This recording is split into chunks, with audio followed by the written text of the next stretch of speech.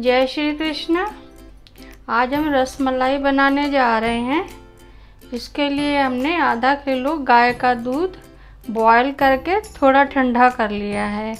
अब इसको फाड़ेंगे। इसमें थोड़ा एप्पल विनेगर मिलाएँगे।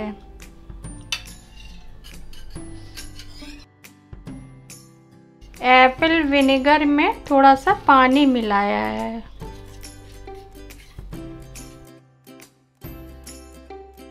एप्पल विनेगर थोड़ा थोड़ा करके डालना है। फटने लगा है, अभी ठीक से नहीं फटा है। थोड़ा और डालना पड़ेगा।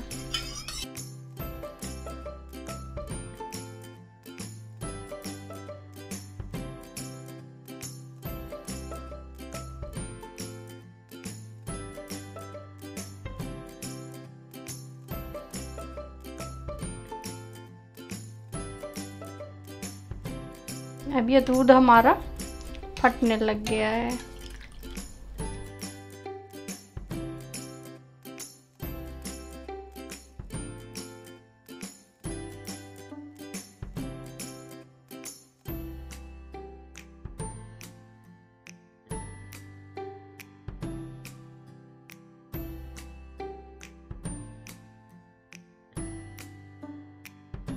अब ये दूध फट गया है, इसमें छेना अलग हो गया है और पानी अलग हो गया है।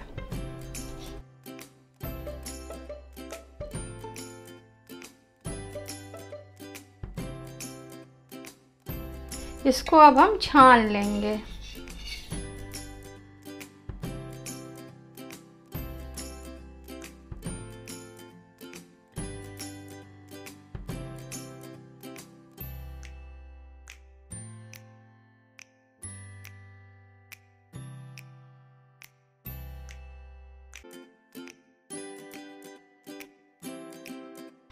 अब इस छेने को हम अच्छी तरीके से पानी से धो लेंगे।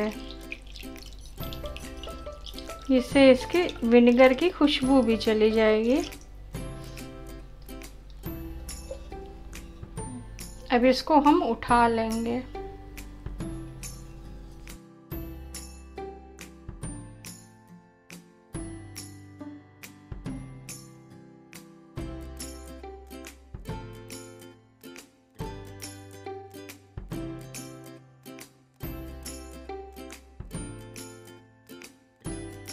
अब इसको अच्छे से हमने निचोड़ दिया है। इसको छन्नी पे रखे दे रहे हैं। धीरे धीरे इसका पानी निकल जाएगा।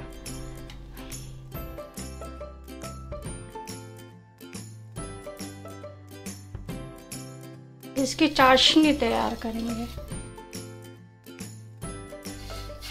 ये 500 ml पानी है।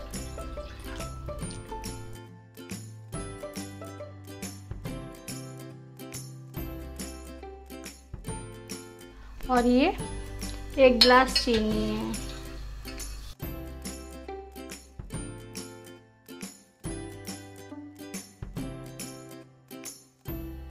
चाशनी धीरे धीरे घुल रही है। तब तक हम छेना देखते हैं। अब इसमें छेना निकालते हैं।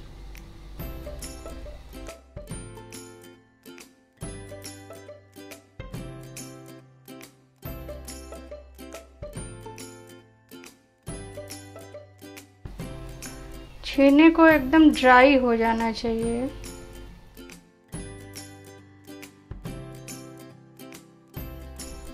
अब इसको हम हथेली से थोड़ा थोड़ा मलेंगे।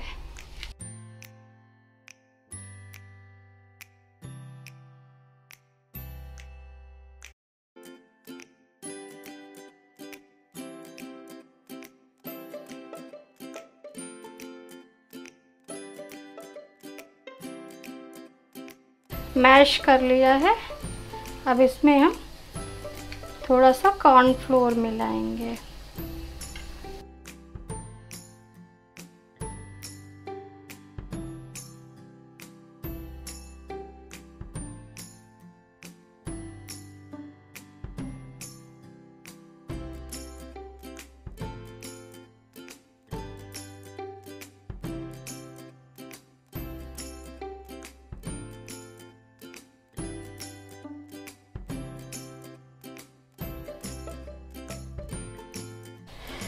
अब इसके हम पेड़े बना ले रहे हैं।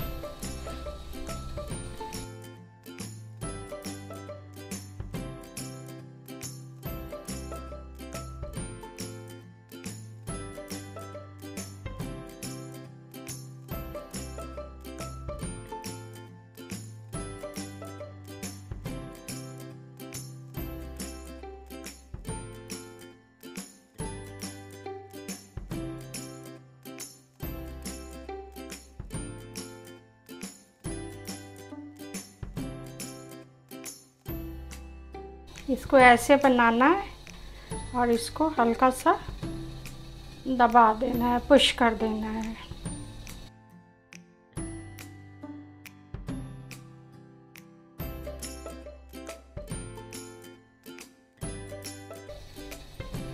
बनाते समय ध्यान रखें, इसमें क्रैक्स नहीं आने चाहिए।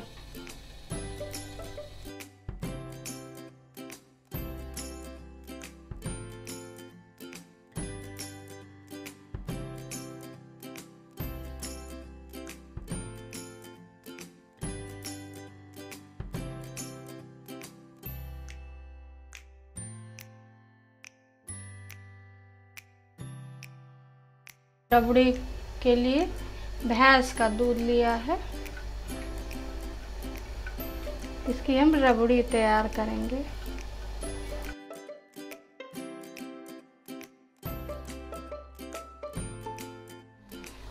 अब इसमें हम थोड़े से ड्राई फ्रूट्स डाल देंगे। थोड़ा सा गार्निश के लिए रोक लेंगे।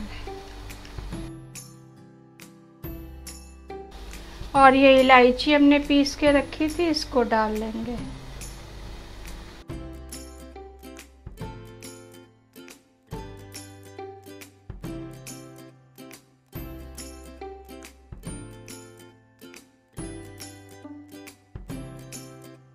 केसर अगर हो तो थोड़ा सा केसर डाल दे।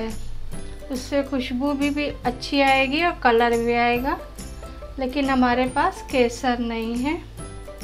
हम थोड़ा कलर डाल रहे हैं।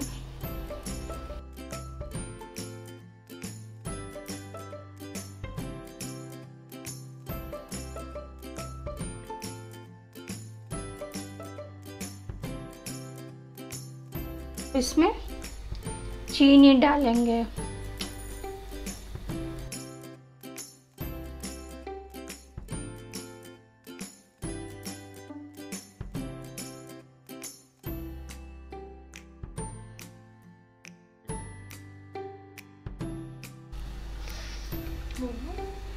इसको थोड़ी देर तक हम बॉयल होने देते हैं, तब तक हम अपना छेना देखते हैं।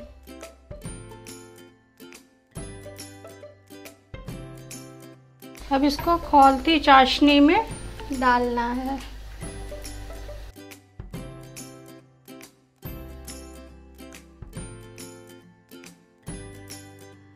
अब इसको 10-15 मिनट होने देंगे, फिर इसको ठंडा करके तब निकालेंगे।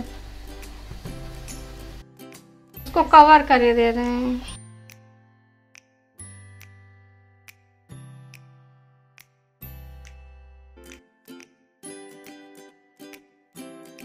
इसको पलट देते हैं।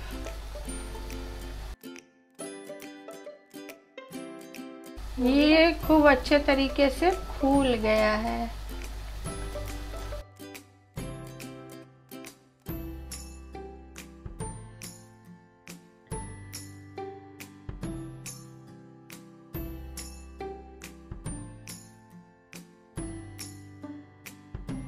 अब ये ठंडा पानी है, इसमें क्यूब्स हैं। अब इसमें हम ये रसमलाई डाल देंगे।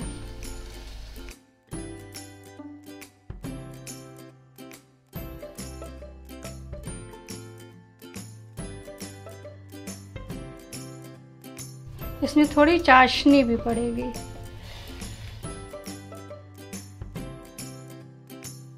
रसमलाई को इसमें 10 मिनट तक पड़ा रहने देंगे। ये फ्लोट कर रहा है, इसके मतलब बहुत अच्छी रसमलाई बन गई है। अब इसको हम दबा दबा के इसका थोड़ा पानी निकाल के रबड़ी में डाल देंगे।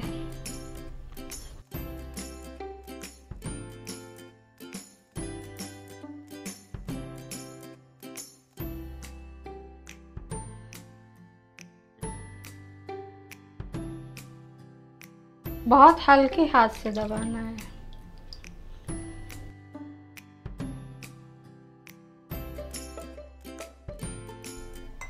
इसको चार घंटे छः घंटे रख देंगे तो ये रस में अच्छी तरीके से डूब जाएगी। वैसे हलवाई लोग तो इसको ओवर नाइट रखते हैं। अब ये रस मलाई हम रबड़ी से निकाल रहे हैं।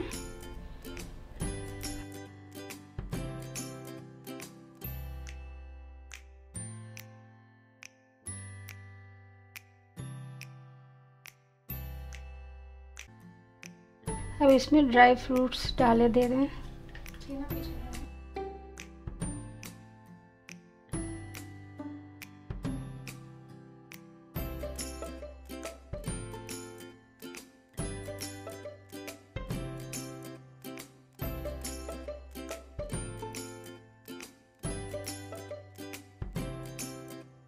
अब हम आपको निकाल के काट के दिखाते हैं।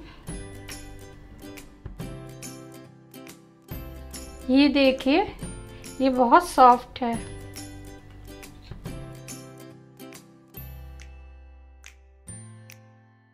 अब आप भी ऐसे ही बनाइए, खाइए, फिर हमको बताइए कैसा बनना। Thank you for watching